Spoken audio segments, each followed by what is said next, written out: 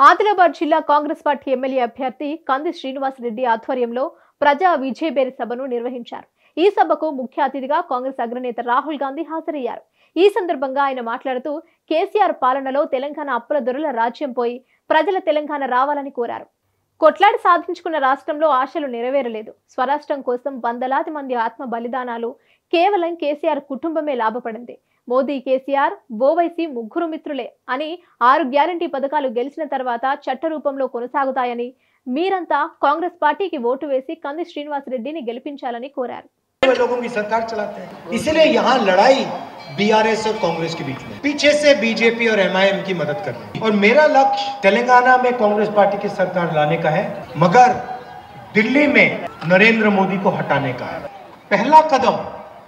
BRS को हराने का है यहाँ पे हमने बीआरएस को हरा दिया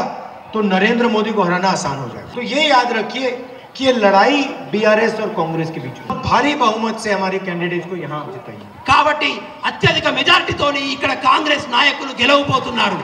आप सबका दिल से धन्यवाद करता हूँ आप दूर दूर से आए इतने प्यार से आपने मेरी बात सुनी नफरत के बाजार में मोहब्बत की दुकान खोलनी है